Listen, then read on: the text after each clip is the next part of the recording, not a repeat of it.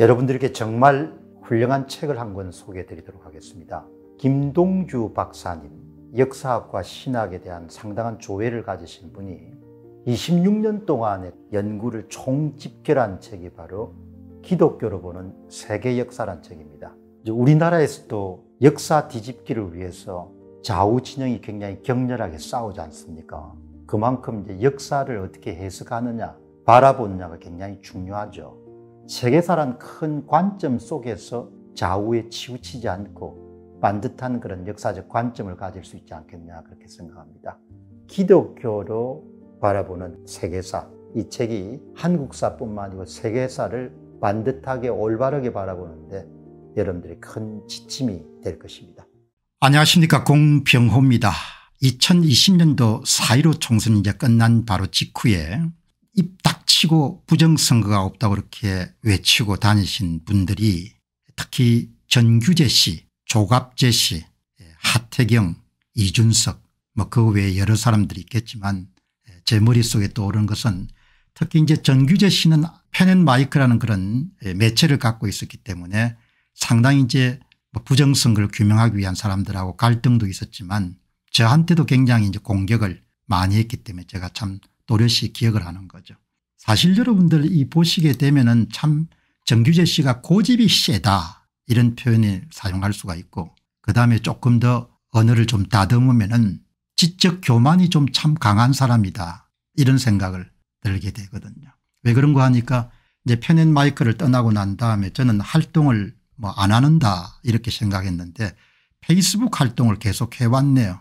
그래서 어제 잠시 소개해 드렸지만 이게 이번에 이제 왜 더 카르텔이라는 이 카프카 님이 아주 심혈을 기울여 가지고 한 80여 분 정도의 그런 이저 방송을 만들었지 않습니까? 혹시 이 방송을 보신 분들 가운데 다큐멘터리 왜 그런 더 카르텔을 보지 않으신 분들은 한번 보시게 되면은 80여 분 정도를 보면서 소위 대한민국의 숫자 조작과 실물 위조 투표 투입으로 이루어진 부정선거 실상을 상당폭 이해하는 데 아주 결정적으로 기여할 수 있는 잘 만들어진 영상입니다. 여기에 이제 이렇게 예, 간단한 좀 경망한 그런 글을 남겼습니다. 저 같으면 이렇게 안 남길 것 같아요. 전규제 왈 민경욱이 다 까봤습니다. 재검표장에서 그리고 가짜표는 한 장도 안 나왔습니다. 이제 이 민경욱 국토본 상임대표가 정규재 선생님 제가 재검표장에서 까봤는데요. 재검표장에서 나온 표가 다 가짜표입니다. 정규재 선생님 직접 보지도 않고 어떻게 그렇게 자신 있게 말씀을 하십니까 기자가 아니신 모양이에요. 민경욱 국토본 상임대표는 방송기자 출신이고 또 정규재 씨는 이렇게 신문사 출신이니까 그래서 이제 제가 아, 이 정규재 씨가 요즘도 이렇게 페이스북도 다 듣겠다고 했는데 페이스북을 하는 모양이다. 그렇게 이제 생각들고 한번 들어가 봤습니다. 예, 이틀 전에 쓴 걸 보니까 이 김우신 님이 정규재 선생님 왜 더 카르텔 다큐 영상을 차분히 다시 한번 봐주시기 바랍니다. 저 수많은 빼박 증거를 스스로 다시 살펴봐 주시길 바랍니다. 이렇게 이제 이야기를 하니까 정규재 씨가 김우신 씨한테 그건 빼박 증거 하나도 없습니다. 이렇게 이야기를 하는 겁니다. 빼박 증거 하나도 없습니다.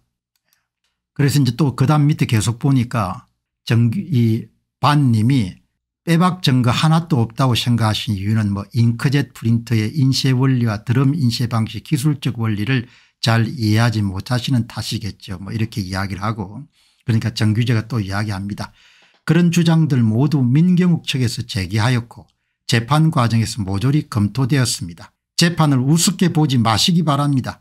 그나마 보수 대법관이 많아도 철저하게 검증하고 마지막에는 민경욱에게 직접 조작된 가차표를 고르도록 기회를 주고 검증인까지 민경욱이 직접 지정하도록 했고 그 결과가 한 장도 없다 했습니다. 판결문 좀 읽어보시기 바랍니다. 무식한 사람들처럼 왜 이러십니까 디지털이 무슨 주술입니까 이렇게 이렇게 정규재 씨가 이야기를 했습니다. 그러니까 반님께서 어차피 별 기대는 안 했습니다만 정규재 씨를 비롯해 김대호 조갑재 길벗 등은 구제불능이란 단 한마디 말이 어울리는 무리들입니다. 정규재 씨가 저보다 3년 위에 이제 고대를 나왔는데 고대 철학가 출신이죠.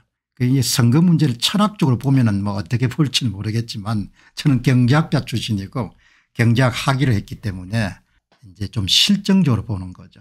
4.15 총선이 끝나고 난 이후에 뭐 부정선거가 없었다 이렇게 하는 것은 좀 경박한 일이지만 그래도 그 당시는 이제 증거물들이 이렇게 많이 드러나지 않았습니까 옳은 일은 아니지만 그래도 뭐 이해는 할 수가 있죠. 지금 이제 3년 3개월이 흘러가지고 재검표장에서 등장한 모든 그런 투표지들이 다 투표함 전체를 다 통을 갈아 가지고 법원에 제출한 그런 부분들이 이제 다 밝혀졌고 그런 것을 다 덮기 위해서 대법관들이 3년 정도의 시간을 끌면서 결국은 그런 점검을 다 은폐하는 데 노력했고 그리고 이제 법원에 제출한 투표함을 속에 있는 진짜 투표지를 소각 내지 파쇄하고 그것을 다 새로 인쇄된 투표지로 채워가지고 법원에 제출할 수밖에 없었던 것은 바로 전산 조작을 이용해 가지고 득표수를 만들어낸 거 아닙니까? 여러분 지금 이 전규재 씨가 이야기하는 것처럼 디지털이 무슨 주술입니까? 뭐 디지털이 주술이 아닙니다. 선거 사무를 담당하는 사람들이 득표수를 조작할 때 그 사람들도 이렇게 발각될 줄은 몰랐을 겁니다. 그 사람들이 가장 중요하게 범죄 증거물로 남긴 것은 선관위 스스로가 발표한 후보별 득표수입니다. 그것은 홈페이지에 다 공개돼 있고 그것을 분석해 가지고 제야 전문가가 2022년도 4월 15일 총선뿐만 아니고 2017년부터 7분의 모든 공직선거를 다 같은 조작 방법을 사용해 가지고 다른 규칙 다른 조작값을 사용해 가지고 그냥 선거 데이터를 만든 것을 다 찾아낸 거죠. 그러니까 뭐 잉크젯 프린터니 배춧잎 사전투표니 빳빳한 사전투표지 같은 것을 정규재 씨가 대법관들 그런 주장을 어, 거짓 주장을 받아들여 가지고 예 그냥 정규재 씨가 그냥 옳다고 치더라도 옳지 않은 일이지만 그러나 선거관리위원회가 꼼짝 달싹 할 수 없고 그들이 선거 부정을 낱낱이 파헤친 이 도둑놈들 시리즈에 대해서 판매 금지 가처분 신청을 할 수 없고 제가 선관위가 선거 범죄 집단이다 이렇게 이야기하더라도 그 사람들이 말을 할 수 없는 이유는 후보가 받은 득표수를 조작한 그 증거물들을 정확하게 남겼기 때문에 그 사람들이 이야기를 할 수 없는 겁니다. 이거는 뭐 통계 이 차이값이 너무 커서 조작을 했다. 그거는 또 거짓말로 가지고 해명을 할 수 있습니다. 통계적으로 대수의 법칙을 위반한 소위 그런 차이값이 지나치게 커져 왔다. 뭐 이러면은 어느 정신 나간 사람처럼 사전투표에 참가하는 더불어민주당 후보 출신들은 다 성질이 급해 가지고 더불어민주당이 사전투표를 이길 수밖에 없다. 그렇게 정신 나간 주장을 펼치는 그런 무식한 사람들도 있지만 뭐 그렇다고 칩시다. 그렇다고 치더라도 중앙선거관리위원회가 당선자와 낙선자를 선거마다 구분하기 위해서 발표한 후보별 득표수 안에 내장된 규칙을 사용해서 득표수를 이동한 그것을 찾아낸 것은 전혀 변호할 수가 없는 겁니다. 변명할 수 없는 겁니다. 아마 정규재 씨는 그 소위 득표수 조작이라는 그런 부분들을 이해를 못하는 것 같아요. 또 이해하고 싶지도 않고 이번에 까푸카 님이 낸 그런 왜 더 카르텔 안에는 조갑재 씨하고 정규재 씨가 말하는 뭐 납득할 수 없는 그런 본인들의 주장을 조금 짧게 아마 다 소개했기 때문에 본인이 왜 더 카르텔이라는 것을 봤으면 좀 가슴이 찔렸을 겁니다. 사람은 다 양심이 있지 않습니까 저는 하나도 찔리는 게 없죠. 왜 사실 위에 모든 주장을 펼치고 진실 위에 인생을 만들어 왔기 때문에 꿀리거나 그렇게 할 필요가 전혀 없는 겁니다. 채널에 대해서 탄압이 이렇게 강한 것도 딴 거 있지 않습니까 공병호 tv만 입을 다물면 상당수 여러분들 깔아앉힐 수 있다는 겁니다. 그 사람들이 가장 여러분 겁난 것은 뭔가 하니까 득표수 조작을 다 발각해낸 겁니다. 네, 그게 결정적입니다. 2020년 4.15 총선의 다른 여름 점검물에 대해서는 다 여러분들 뭐죠 거짓말을 할 수 있습니다. 그러나 중앙선거관리위원회가 더불어민주당 후보의 당선을 돕기 위해 사용한 2020년 4.15 총선의 득표수 조작 표를 조작해 가지고 발표한 것은 관악구에서 여러분들 미래통합당 후보가 얻은 100표 가운데 사전투표 득표수 100표 가운데 50장을 훔치고 마포울에서도 50장을 훔치고 조작값 50% 50% 종로구 황교안에게서는 45%를 훔치고 이게 그냥 숫자로 다 나온 겁니다. 그걸 어떻게 이런 변호하겠습니까 선거관리위원회가 선거범죄 집단이라는 겁니다. 선거관리위원회가 득표수를 제조해 온 겁니다. 그런 일이 누구 치하에서 일어났습니까 권순일과 조혜주 밑에서 일어난 겁니다. 대선은 누구 밑에서 일어났습니까 김세한과 노정희 밑에서 일어난 겁니다. 2022년도 6월 1일 전국 동시지방선 누구 하에서 일어났습니까 노태악과 박찬진 하에서 일어난 겁니다. 다음 선거 이름 이번 선거 어떻겠습니까 이번 선거 봅시다. 나는 김용빈 씨가 노태악과 김용빈 하에서 이런 이야기 안, 안 나오기를 바랍니다. 그런데 뭐 사람 하는 거 보니까 어벙해 가지고 여러분들 영 신뢰가 안 갑니다. 여러분 정규재 씨가 참 교만합니다. 3년 3개월 정도 이렇게 지났으면 은 제가 정규재 씨나 조갑재 씨가 부정선거를 입 닥치고 없다고 해서 뭐 항복하라는 이야기를 하는 건 아닙니다. 이제 입을 좀 다물어야 될 시점이죠.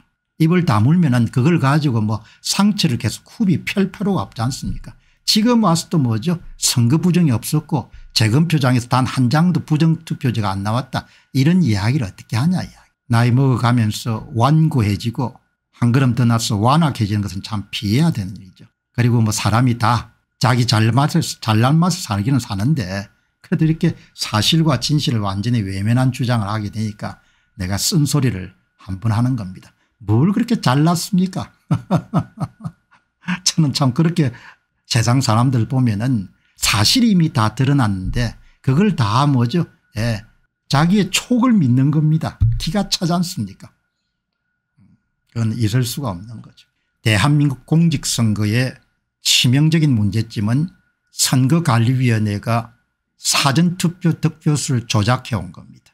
그리고 그 점검물을 당선자와 낙선자를 구분하는 기준으로 삼았고 그 점검물들이 중앙선거관리위원회 홈페이지에 다 올라와 있기 때문에 뭐 지금 와가지고 부정선거를 했냐 안 했냐는 것은 참 바보 같은 짓입니다. 2016년 2017년부터 본격적으로 했지 않습니까 그게 뭐 다 드러났지 않습니까 제야 전문가 공이 참 큽니다. 그러니까 선거 부정을 지금 이제 이렇게 외치면은 선관위 측이 가장 곤혹스러운 점이 뭔가 하니까 득표수 조작을 한 번이 아니고 일곱 번 해왔다는 것이 가장 치명적인 본인들이 참 전정건강하는 부분일 겁니다. 그래서 공병호 tv에 대한 탄압이 가장 심합니다. 송출량을 여러분들 10분의 1에서 20분의 1 정도 줄이고 한 달에 평균 1000명에서 1000한 300명 정도의 구독자를 계속 빼는 거죠. 관계 없습니다. 그거 다 여러분들 내려놓으면 은 아무것도 여러분 남는 것은 의로움을 위해 가지고 나아가는 것은 걸림돌이 될 수는 없는 겁니다. 대한민국의 여러분들 참 그렇게 살면 안 되죠. 정규재 씨도 여러분들 자식들이 있을 것이고 저도 자식들이 있지 않습니까 또 아이들이 손자 손녀가 또 생기는 거고 우리가 그렇게 해서 되겠습니까 부정선거를 은폐하고 해가지고 우리가 이완용이처럼 되면 되겠습니까 안 되잖아요. 그거는 이해득실을 떠나가지고 그러니 사람다운 사람을 찾기가 너무나 힘든 겁니다. 지도층 인사들 가운데. 망국이란 것이 그냥 여러분들 옵니까 지도층들이 양심과 윤리와 도덕과 여러분들 법을 다 위반을 하면 은 그게 이런 망국으로 가는 지름길이지 않습니까? 자 여러분들 오늘 그래 가지고 여러분들 뭐 이렇게 보면은 뭐 다 나오는데 뭘 그렇게 가지고 여기 보시면 어제도 여러분 소개해 드렸지만 이 2020년 6일 강서구청장 선거에 15% 이런 표 이동한 게 다 이렇게 밝혀지지 않습니까? 김태우가 이번에는 이런 그래프가 나오면 안 될 건데 어디서 표를 도둑질했는데 다 나오지 않습니까 염창동에서 여러분들 관내 사전투표 368표를 훔쳤네요. 등촌 제1동에서 247표를 훔치고 이런 이름 순간이 예 범죄자들이 어디를 도망가겠습니까 표를 어디서 얼마나 훔쳐가지고 김태우와 함께 7225표를 훔쳤는지가 다 나오지 않습니까 이렇게 득표수를 조작했기 때문에 그 사람들이 가장 겁난 겁니다. 이게 이런 득표수를 조작한 것이 많이 지금 알려진 상태는 아닙니다. 이런 그런 도둑놈 시리즈를 보신 분들 정도는 알겠지만 득표수를 조작해 왔기 때문에 도망갈 수가 없는 겁니다. 제야 전문가 큰 기여를 한 겁니다. 이거는 뭐 배추잎 사전투표지는 화성에서 왔다 이렇게 대법관들이 거짓말할 수가 없는 겁니다. 뭐 유일하게 할 수 있는 방법은 중국에 수입해 왔다 이렇게 할 수 있을지 모르겠지만 수입했더라도 선관위 이름을 발표했기 때문에 선관위가 책임져야 되는. 선관위가 선거 범죄 집단이 된 것이 가장 큰 문제입니다. 딴 거 없습니다. 이런 이야기를 내놓고 누가 하겠습니까 제가 나이도 있고 한데 이런, 이런 이야기를 할 정도가 되면 은 사실이기 때문에 하는 거죠. 진실이기 때문에. 나쁜 놈들이지 않습니까 선거를 어떻게 도둑질합니까 일곱 번이나. 선거를 도둑질한 걸 보고 어떻게 다 이런 입을 다뭅니까 대통령이 어떻게 입을 다물 수 있죠 법무부 장관이 어떻게 입을 다물 수가 있습니까 국힘당 국회의원들은 다 어떻게 입을 다물 수 있겠습니까 그 업보를 여러분들 백성들이 다 세세손손 치료해야 될 건데 그게 눈이 안 밟힙니까 자 여러분들 오늘 마무리하기 전에 어, 2주 전부터 제가 여러분 소개한 책이 이 기독교로 보는 세계 역사란 책입니다. 통사고 김동주 교수가 신학과 여러분 역사를 잘 이렇게 조화시켜 쓰신 분인데 작가로서 이렇게 왕성하게 활동해온 저로서도 굉장히 대작입니다. 지식에 대해서 좀 목마름이 있으신 분들은 한번 일독해 보시기를 권하고 싶습니다. 마무리하도록 하겠습니다. 감사합니다. 대한민국 공직선거의 문제점을 파헤친 첫 번째 책을 펴냈습니다. 제목은 도둑놈들 1권 선거 어떻게 훔쳤나 2017년 대통령 선거로부터 2022년 대선과 지방선거까지 전산 조작을 이용해서 후보별 득표수를 어떻게 조작했는가를 낱낱이 분석한 책입니다. 선거를 바로 세우고 나라를 바로 세우는 일에 여러분께서 힘을 더해 주시기 바랍니다.